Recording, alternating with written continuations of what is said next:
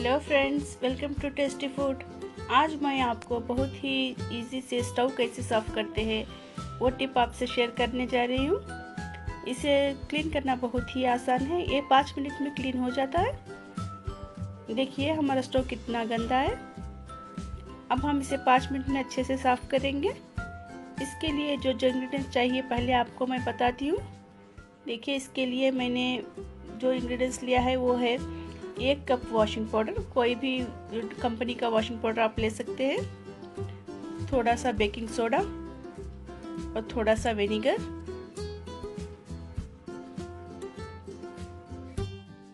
पहले हम एक बाउल ले लेते हैं। उसमें हम वॉशिंग पाउडर को ऐड करेंगे।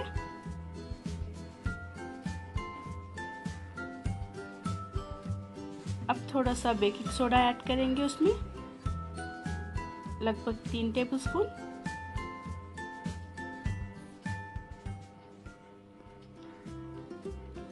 अब इसमें हम विनेगर को ऐड करेंगे।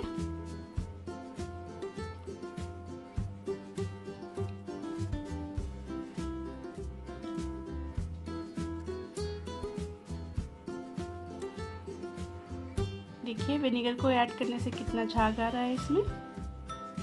अब इसको हम अच्छे से मिला लेंगे।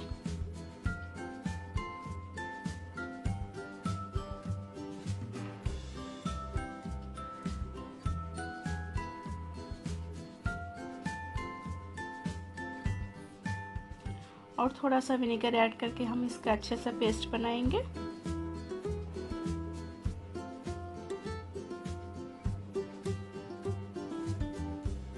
अब हम इस पेस्ट को स्टोव पे चारों ओर अच्छे से स्प्रेड करेंगे।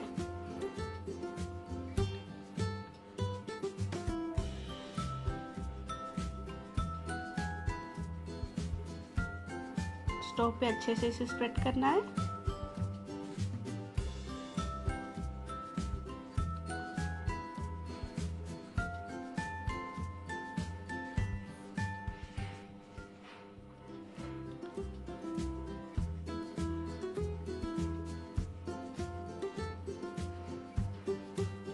हम एक पुराना टूथपेस्ट लेके इसे अच्छे से स्टोव के चारों तरफ़ अच्छे से लगा देंगे, इस पेस्ट को।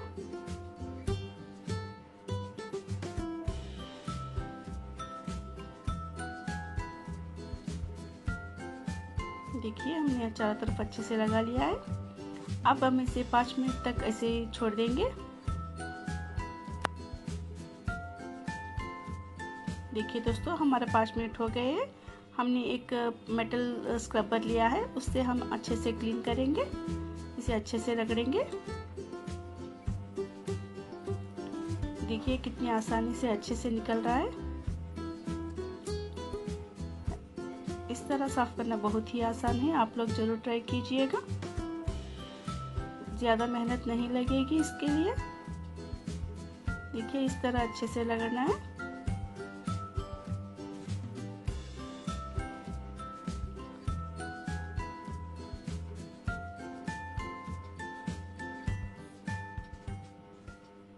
देखिए दोस्तों, हमारा सारा मेल निकल गया है।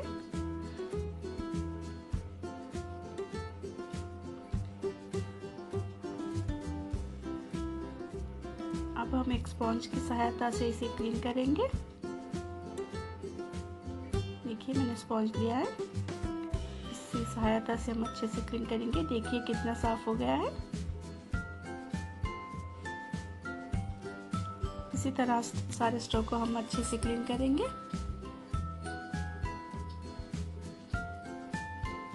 देखिए दोस्तों, हमारा स्टोव कितना अच्छे से क्लीन हो गया है।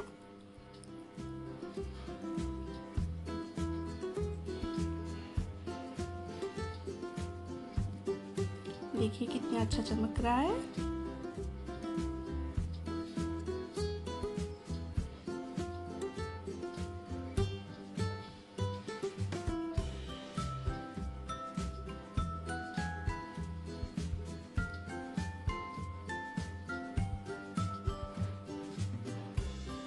देखिए दोस्तों, हमारा स्टोव अच्छे से क्लीन हो गया है।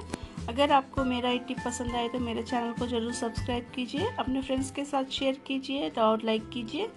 Thank you for watching.